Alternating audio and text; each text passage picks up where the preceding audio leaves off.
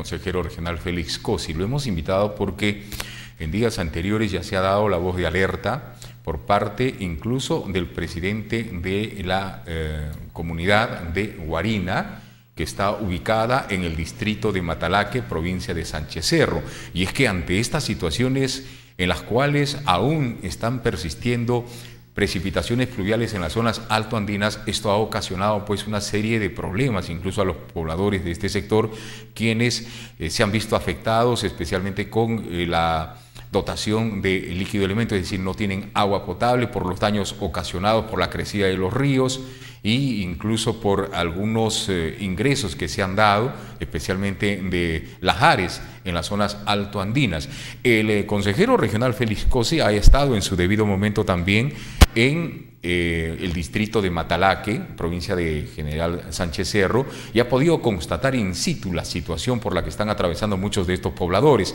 Y evidentemente es eh, importante también de que haya una respuesta inmediata, entendemos, por parte de las autoridades del gobierno regional de Moquegua, en pos de atender estas necesidades que se tienen, especialmente con los pobladores de las zonas altoandinas de la región Moquegua. Consejero Félix Cosi, muy buenas noches, bienvenido al programa. Sería importante que nos dé usted alcances entendemos, hay algunas fotografías también sobre los hechos lamentables que se han registrado en esta comunidad en el distrito de Matalanque. Lo escuchamos. Muy buenas noches. Muy buenas noches, eh, señor periodista. Muy buenas noches a nuestra región de Moquegua. Es correcto que eh, la localidad, esta comunidad de Guarina, eh, que se encuentra a 2.600 metros sobre el nivel del mar, está siendo azotada muy gravemente por los embates de la naturaleza Vemos ahí en la fotografía eh, que hay un represamiento del río eh, Tambo eh, por el cierre de los lajares que bajan del volcán Ubinas. Ahí vemos la crecida también del río Tambo en toda la contención del margen de la localidad de Guarina. Vemos cómo se ha explayado el río y se ha llevado una gran cantidad de terrenos, ha enterrado y, y terrenos de línea 1 prácticamente árboles frutales, eh, ya prácticamente hoy es pues eh, pura piedras y lodo lo ha enterrado. Ahí podemos ver la cantidad de terrenos que se está perdiendo al, margen del río Tambo. Hay una zona, hay una zona eh, bastante significativa, ¿no? De áreas de cultivo que están en peligro incluso. sí, ¿por qué? ¿Qué ha pasado? Este, cuando baja el lajar, es en una zona pendiente del volcán Ubinas, ahí donde está eh, la unión justamente con el río Tambo, llega a trancarlo al río Tambo, a la magnitud de, la cantidad que viene, porque el Tambo es pura agua, ¿y qué hace? Esto hace un represamiento y al momento de, sobrepasar, esto pues eh, hace de que ha arrasado con los dos puentes que teníamos. En la actualidad esa es la manera precaria, mire usted, palos de, de troncos que tiene que habilitarse la gente para trasladarse las señoras con la ayuda de algunos compañeros vecinos, tiene que trasladarse, mire usted, sobre el río, el caudal del río nomás podemos ver cómo está, de qué magnitud. Esto pues amerita una inmediata atención. Eh, derrumbes también, ¿no? Derrumbes, el canal de la ahí lo vemos cayéndose. Se ha puesto tuberías para poder reemplazar el canal, sin embargo esto es insuficiente. Sigue la caída y sigue la crecida del río, ¿no? En la semana anterior, prácticamente semana que ha pasado, ha sido pues las lluvias han sido muy intensas y la crecida del río Tambo pues ha crecido a, su máximo nivel. Esto ha ocasionado nuevamente la ruptura de los canales o de las tuberías que se ha puesto de emergencia y también ha arrasado nuevamente los, eh, los, las chacras, los cultivos y es, esto pues... Eh, no hay el, líquido suficiente para poder atender o dar a los animales ni poder eh, regar los, eh, los árboles frutales, mucho menos pues los alfalfares que son el alimento del ganado. Esta comunidad, señor periodista, eh, netamente es agroganadero en el sector de ánimas, el sector al margen derecho que vemos, ahí está la población, al margen derecho está la ah, eh, el sector de ánimas, donde se tiene toda la agricultura y la ganadería. Mire usted cómo se ha explayado, ahí mire el río prácticamente ya ha tomado un, nivel de cauce, ha, superado los 25 metros que estaba, el cauce tenía de profundidad, hoy pues está a un máximo nivel. Esto mm, han venido el día de ayer el, el presidente de la comunidad de Guarina, el teniente gobernador, hemos tenido una reunión con el señor gerente eh, general del gobierno regional, el señor Wildo Ferrell, y también eh, el equipo técnico del COER, el, técnico Peralta también ha estado, y se ha acordado que el día de mañana está viajando pues un equipo para allá, para el sector, para hacer una evaluación de emergencia y de riesgo a, este sector, porque eh, esto ya no es un tema solamente de las, por las lluvias, sino que esto es constantemente. Y, y algo acá quisiera acotar, señor periodista. Mire usted, Acá se tenía que construir dos andariveles, en la cual el año pasado, 2016, en febrero, cuando fue arrasado estos dos puentes, eh, el gobierno regional asignado, mediante mantenimiento, ha asignado 240 mil soles. Sin embargo, esto se ha pasado a la sugerencia de eh, Sánchez Cerro. Y Sánchez Cerro no ha ejecutado, ha puesto dos cables eh, muy precariamente y sin embargo no se ha terminado. Y esto hace pues de que la gente sigue arriesgando la manera como podemos ver ahí en la foto, podemos ver cómo la gente se está arriesgando y esto es un poco más delicado todavía cuando estos canales han sido totalmente colapsados como podemos ver en este sector y estamos pues estamos arriesgando nuestra vida porque la gente está con cabullas, están colgándose y mire usted cómo se está arriesgando la vida. Ahí puede usted ver, eh, por ejemplo, la gente eh, pasa el cable a la peña, han colocado un cable cerca a la peña y está bajando al río, a la orilla del río están bajando y arriesgando que puedan ser arrastrados por el río. La crecida del río ha sido inmenso. Esto um, vale la pena resaltar el coraje de la gente del campo de Guarina y también pues al hacer la denuncia respectiva al eh, subgerente de la provincia general Sánchez Cerro, el señor Willy Porras, que una vez más demuestra una incapacidad, una intolerancia y poca sensibilidad a la gente que está sufriendo en esta comunidad de Guarina. Bueno, sí, algo, algo que es importante también recalcar es que en esta oportunidad, y tal como se puede apreciar en las imágenes que eh, estamos observando es que los eh, eh, comuneros, quienes han llegado hasta Moquegua, se habrían reunido pues en una primera instancia con personal técnico del Centro de Operaciones de Emergencia Regional para que evidentemente se tenga pues un mayor conocimiento de todos estos hechos que se están registrando, ya que incluso la comunicación para pasar este río que se ha incrementado de manera significativa es un peligro incluso para los mismos pobladores. Y ahora ellos han alegado, consejero regional Félix Cosi, de que en su momento han solicitado eh, el apoyo correspondiente a las autoridades del gobierno regional y hasta el momento no ha habido una respuesta inmediata. Entendemos de que a través del eh, Centro de Operaciones de Emergencia Regional se ha hecho de conocimiento al del gobernador regional. Entonces, ¿cuál es el apoyo finalmente que se va a dar a estos comuneros? ¿O es que lógicamente se va a esperar a que ocurra una situación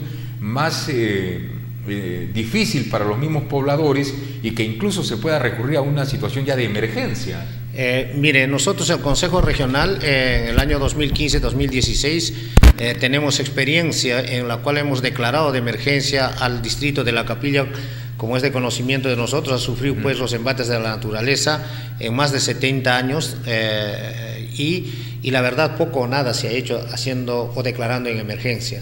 Hoy eh, lo que queremos es de que se haga una evaluación ya inmediata a los estragos que está causando a esta población, los lajares y el río Tambo y la que no hay comunicación. Esto oh, definitivamente eh, el COER el día de ayer ha tenido conocimiento, por eso es que el día de mañana va a estar viajando para allá hacer la evaluación y respectivamente también conformar un equipo de técnicos para que ya hagan el levantamiento de eh, un peligro eminente.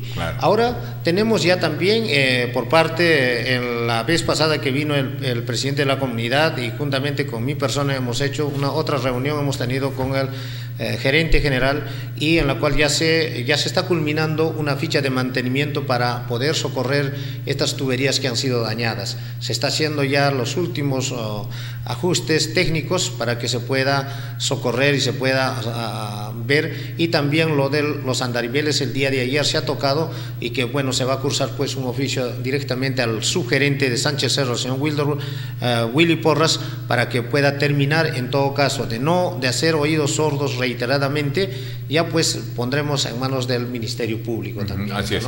Consejero Félix Cosi, lo que resulta en muchos de los casos irónico es que mientras a nivel de la región Moquegua hay muchas instituciones, la prefectura, la Policía Nacional del Perú, eh, empresas privadas, quienes finalmente han hecho todo un trabajo de apoyo, de sensibilización para apoyar a los damnificados del norte, que evidentemente es una situación en la cual eh, se espera también de que se pueda mejorar las condiciones de estos pobladores, pero dentro de la región Moquegua estamos viendo de que la situación no es tan, tan diferente a la que se está eh, presentando en Moquegua. ¿no? porque hay pobladores aislados, la situación es bastante difícil. Fíjense, el único medio de comunicación que tienen es este cable. Este cable. Y que evidentemente si cae algún poblador ahí, ¿quién va a responsabilizarse por su integridad física? Mira usted la capacidad. Eh, eso es, usted lo ha dicho, eh, realmente la gente ya vive un constante arriesgando, haciendo un valor, el coraje que los identifica a estos mis hermanos uh, del campo. Y, y para el norte yo creo que nuestra región ha hecho una buena recolección de apoyo humanitario. No estamos en contra de ellos, yo sé que están pasando las mismas situaciones, pero también es importante ver de que los hermanos de nuestra población, de la casa, en este caso de la región de eh, Moquegua, está pasando también las inclemencias de la naturaleza. ¿Y quién pues? Allá no llega quizás la prensa, no llega la televisión, sin pues. embargo, nosotros lo poco que podemos aportar es con las fotos y ahora con, ¿no? con algunos videos podemos aportar y podemos decir esto es lo que está pasando y usted puede ver pues, la, capacidad del río que ha crecido y ha arrasado con tanto terreno en este sector, principalmente en este sector y también en toda la cuenca, desde este sector de Guarina, Guatagua, San Miguel, Tonoaya, Ubinas, Ubinas que está aislado ya, o sea, prácticamente sus badenes han colapsado, han caído y prácticamente esta población, este distrito eh, merece pues una atención inmediata, ¿no? Merece una atención inmediata y no solamente estemos pues abocados a lo que es pues nuestra zona urbana, ¿no? No estamos en contra, pero como provinciano yo creo que tenemos que brindar y creo que a través, a mí yo estoy aquí para poder uh, sensibilizar a las autoridades y podamos volcar nuestra mirada también a nuestra provincia General Sánchez Cerro, no solamente a Guarina, estamos hablando desde Ichuña, Yunga, Lloque, Chojata, Ubinas, Matalaque, son los pueblos más afectados con sus anexos y sus centros poblados. ¿no? Es una muestra nada más de lo que han podido recopilar y de lo que hemos podido ver en el sector. Bueno, claro, evidentemente ante esta situación es lógico entender entonces que el presidente de los comuneros, don Alberto Poco, ha hecho este llamado justamente para encontrar una solución lo antes posible, porque con estas condiciones evidentemente la situación de los mismos pobladores es bastante delicada y bastante álgida. Y fíjense ustedes cómo tienen que trasladarse pues de un lugar a otro, ¿no? En un cable, corriendo el riesgo incluso de caer, A, la corriente de este, de este río. Y, lo más importante, ¿no? Es que hasta el momento no se ha tenido, pues, eh, entendemos, una respuesta inmediata por parte, en este caso, del Centro de Operaciones de Emergencia Regional. ¿Cuál es la, la, situación que se está viviendo, ¿no? A ver, fíjense ustedes, las imágenes son elocuentes de cómo es que la población tiene que trasladarse de un lugar a otro. Entonces, lógicamente las condiciones que se están dando en las zonas altas de la región Moquegua son casi similares a las que están pasando en el norte del país. la única diferencia es de que una mayor difusión se ha dado a las actividades y a todos estos desastres que se han dado en el norte, pero veamos de que en las zonas altas de Moquegua, donde justamente los pobladores de todos estos anexos, comunidades de estos distritos también están con serios problemas por estas continuas precipitaciones pluviales, producto justamente de estos cambios climatológicos que se están dando a nivel nacional. Sí, ah, ahí está, se está derrumbando parte de esa falda, faldío del cerro donde está el canal y prácticamente ya no se puede, la gente no puede entrar ni amarrada de cabullas porque tiende a caer para abajo o tiende a ser arrasado por las constantes rodaderos que esté dando. Entonces, esto ya merita pues una atención ya a nivel del uh, gobierno del COER, del Centro de Operaciones del Gobierno Regional y ya que el gobierno local, en este caso el señor alcalde local, no tiene ya rebasado su capacidad, el alcalde provincial mucho menos, en este caso tenemos que brindar el apoyo. Y sabe que hay algo también importante, el año 2016, en las, en las reuniones de emergencia que hemos tenido cuando arrasó los puentes de esta localidad, eh, se comprometió el gobernador regional en hacer la gestión a Sauder para poder eh, abastecer de 1.200 eh, metros de cable, que muy bien pudiera servir pues, de extremo a extremo y poder hacer de repente un puente.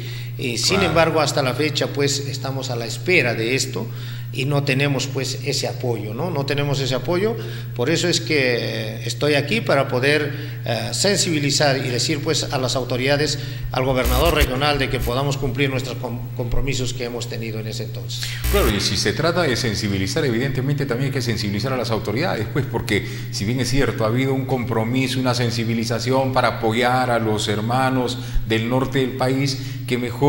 Eh, situación que se está registrando ahora, incluso vemos el canal de agua potable que está totalmente destrozado, es decir, los pobladores de Guarina no tienen agua para tomar.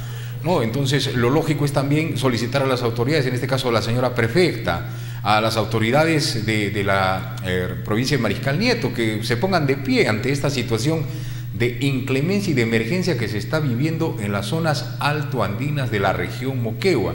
Y estos son videos que nos ha eh, traído el consejero Félix Cosi, justamente de los hechos que se están registrando. ¿Cuándo, ¿cuándo ha grabado, cuándo se han grabado Esto ha sido en el día jueves de la semana pasada, jueves, viernes y sábado, han sido estos, estos videos cuando el río ha crecido a esa magnitud. Hemos tenido esa comunicación. Es más, eh, yo invoco a que podamos, eh, estamos haciendo las coordinaciones, esperando la evaluación de este equipo que está viajando el día de mañana y vamos a sentar ya pues a, poder trabajar porque esta comunidad y eh, amigo periodista, yo es mi pueblo, es esta comunidad ¿no? de Guarina. Yo soy de esa jurisdicción de, de, Matalaque, Ubinas, y ahí vemos a la gente como, mira, los troncos van jalando y tratando de hacer un puente precario, mientras, porque es imposible que las señoras puedan pues cruzar el río, ¿no? Los hombres quizás pueden cruzar con bastones, pero ahí los, las mujeres tienen que cruzar por encima de estos palos que están colocando ellos en algunos brazos ¿no? del río, en algunos brazos por supuesto. Eh, y esto mm, definitivamente es una realidad, no estamos alardeando, ni mucho menos mm, cuando a veces uno sale por la radio y dice esto está pasando allá, de repente piensan que estamos exagerando y yo creo que estas fotos y estos videos muestran la realidad que está pasando en nuestra comunidad. Bueno, sí, evidentemente, ¿no? Son eh, las imágenes muy claras y contundentes de la situación por la que están atravesando muchos de estos pobladores de la comunidad campesina de Guarina del distrito de Matalaque, de la provincia de Sánchez Cerro, quienes están afectados justamente por la crecida del río, que los ha dejado aislados, por lo que exigen pues una inmediata atención por parte de las autoridades. Y evidentemente también entendemos de que ante esta crecida del río, como podemos apreciar, lógicamente pues los pobladores y van a tener serios problemas, especialmente en las zonas agrícolas, donde eh, eh, algunas áreas de terrenos cultivados también han, tenido... Han colapsado, se, han llevado terrenos de cultivo, terrenos de, de primera línea, terrenos de alfalfares, se ha llevado. Prácticamente esta población está sufriendo ya, el año pasado se ha hecho una evaluación, aproximadamente 30 hectáreas se ha llevado, este año podemos estar diciendo esa misma cantidad, porque ya el río uh, ha subido su, nivel para arriba, ¿no? Ha subido por lo mismo de que es, eh, las piedras y el barro ha colmatado, se ha colmatado en el nivel de lo que estamos viendo. Entonces, esto definitivamente es algo muy preocupante para nosotros y eh, vamos, a estar, vamos a hacer el seguimiento para que podamos brindarle toda la atención y todas las gestiones que tenemos que hacer y invocar desde acá de, esta, de esta de este canal para que podamos trabajar también a los hermanos y podamos ponernos, así como podemos apoyar a los hermanos del norte, también podamos apoyar a los hermanos de Sánchez Cerro. Así es.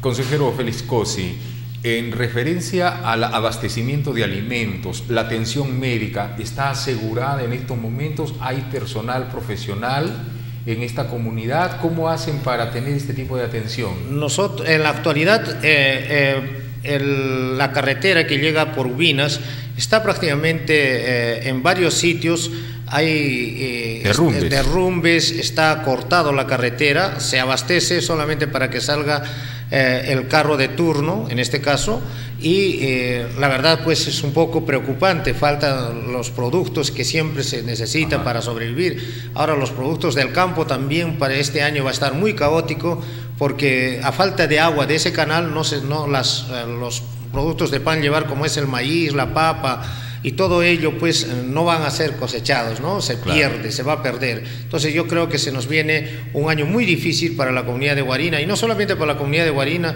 sino el todo el sector desde Matalaque, Ubinas, en todo ese sector, los pueblos y toda la provincia general Sánchez Cerro que ya hicimos mención desde Ichuña como es Yunga, Yoque, Chojata, en sectores la lluvia ha sido muy intensa y yo sé que ellos también tienen ese problema de los canales que están averiados, de las vías de comunicación, los derrumbes y todo ello.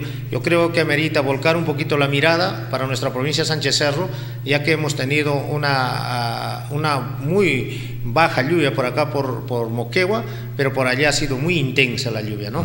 claro.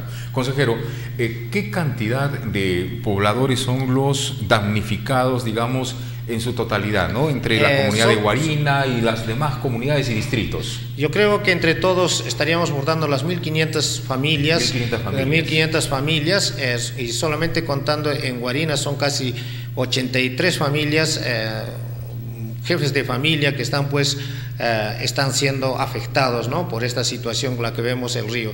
En los diferentes también, eh, eh, este huaico ha arrasado desde Ubinas, ¿no? Ubinas, Tonuaya, San Miguel, Guatagua, Guarina, ¿no? donde llega prácticamente el depósito, en otras palabras vamos a llamarle, ¿no? Guarina, llega ahí se deposita todo el ajar, todo el lodo y la piedra. Entonces, yo creo que esto es, ha sido un año muy fuerte, muy fuerte ha sido, y, y bueno, estamos eh, eh, viendo de cómo vamos a poder apoyar e invocar pues a todas las, las, eh, las, direcciones del gobierno regional para que nos pueda brindar todo el apoyo necesario en cuanto a lo que son fichas de mantenimiento y poder en alguna manera aliviar lo primero que es la agricultura porque la mayor parte de la gente vive y subsiste, por la agricultura. Claro. En estos momentos, ¿qué es lo que más se requiere por parte de la población de Guarina y de estos sectores, consejero? Primeramente son las vías de comunicación que tenemos que habilitar, las vías de comunicación, segundo los canales,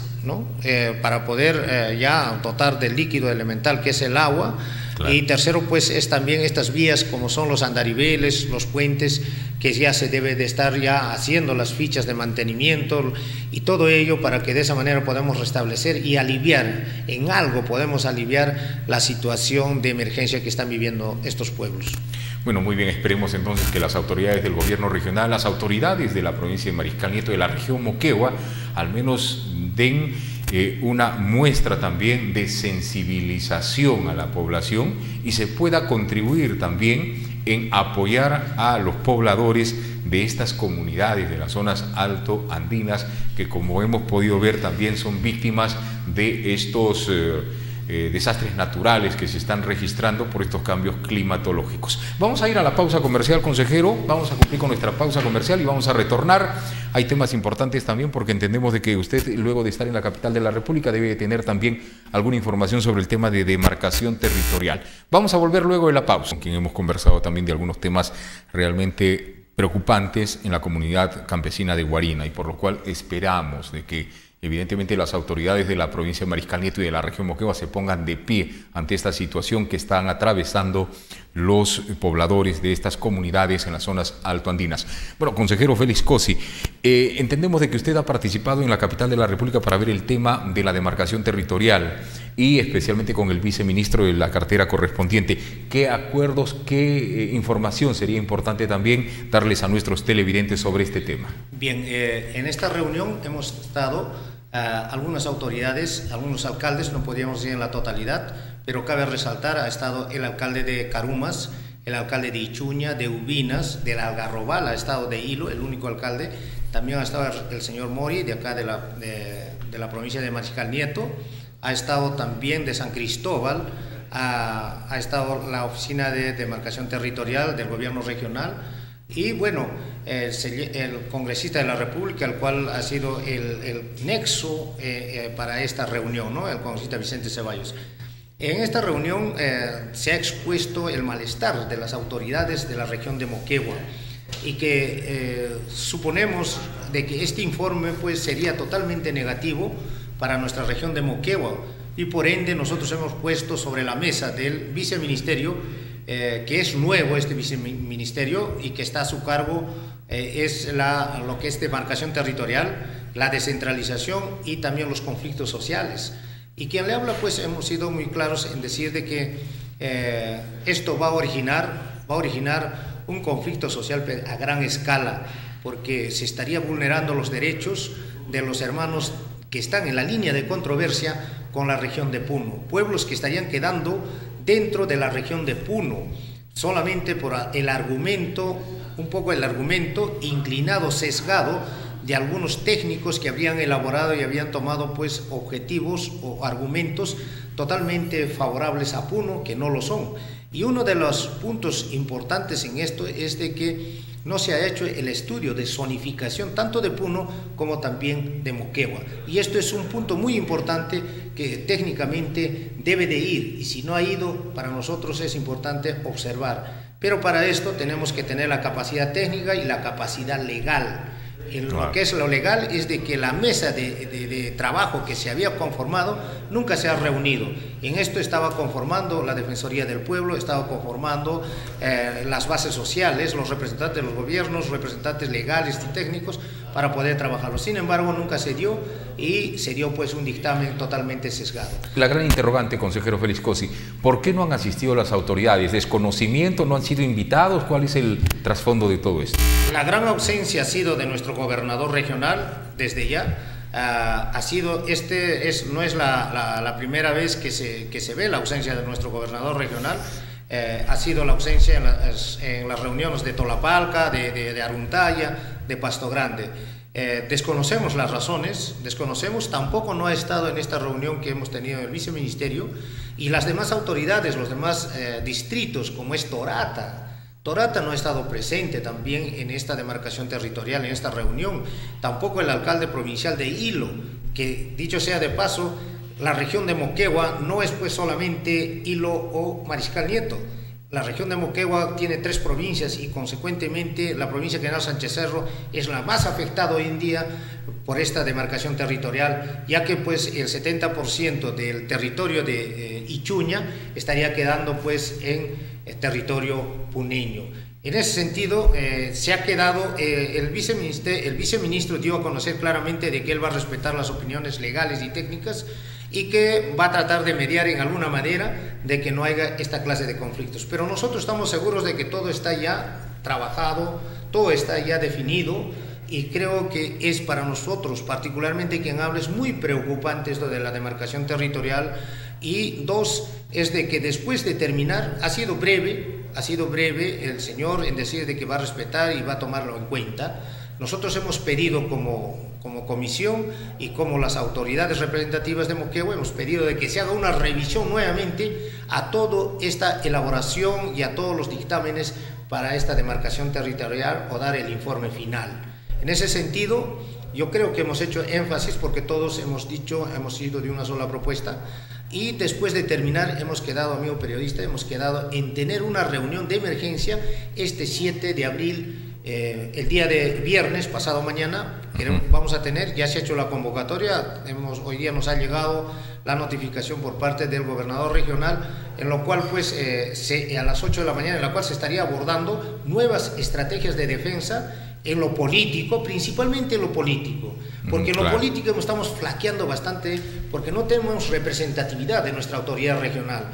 En lo legal también estamos flaqueando porque el señor Saúl Valdés, que tenía mucho conocimiento de esto, por falta de presupuesto dentro de lo que es la Dirección de Demarcación Territorial, ha dejado de trabajar. Y técnicamente, bueno, eh, ahí el, ingeniero... Eh, el ingeniero, que no me acuerdo ahorita su nombre nuevo, sí está involucrándose, pero nos faltaría uno o dos más o, tres más en, legal y en técnico y en lo político es nuestro nosotros tenemos que hacerle frente a la cabeza por supuesto con el gobernador regional este este viernes están convocados a una invitación a todas las autoridades eh, provinciales distritales de los centros poblados y también invocar amigo periodista eh, no vemos el pronunciamiento del Frente de Defensa, el, emblemático Frente de Defensa de la región de Moquegua. No sé, no lo vemos, no sentimos, no, no, no sale a dar un pronunciamiento o, ya no existe. Mi pregunta es si ya no existe este Frente de Defensa que ha dado pues muchos, mucho que hablar a nuestra región como es el Moqueguazo, ¿no? Uno y dos, eh, a nuestra región de Moquegua. Hoy quisiéramos que hasta el último, el último moqueguano que se siente identificado como moquegua, tenemos que estar unidos, tenemos que estar vigilantes a cualquier desenlace que se pueda dar en lo que es la demarcación territorial. Muy bien, yo le agradezco la presencia del consejero regional Félix Cosi, es un tema que aún va a continuar seguramente en los próximos meses. Este viernes 7 tienen una reunión, entendemos, para poder también hacer un, análisis y una evaluación sobre el papel que tienen que jugar especialmente las autoridades políticas sobre este pedido. La revisión ha sido solicitada ya en su debido momento al, al viceministro para que vea específicamente los aspectos técnicos de esta demarcación territorial. Y lógicamente algo que no se va a poder asegurar es la presencia de las autoridades de la región Moquegua para que puedan tener al menos la consistencia y el peso en la capital de la República para poder luchar y exigir de que se respete la actual demarcación territorial de la región Moquegua. Yo le agradezco, consejero Félix Cosi, su presencia el día de hoy en el programa. Muchísimas gracias. Muy bien, muchísimas gracias. Finalizamos nuestra correspondiente emisión del día de hoy. Muchísimas gracias por su atención prestada. Estamos retornando a nuestras próximas emisiones. Permiso.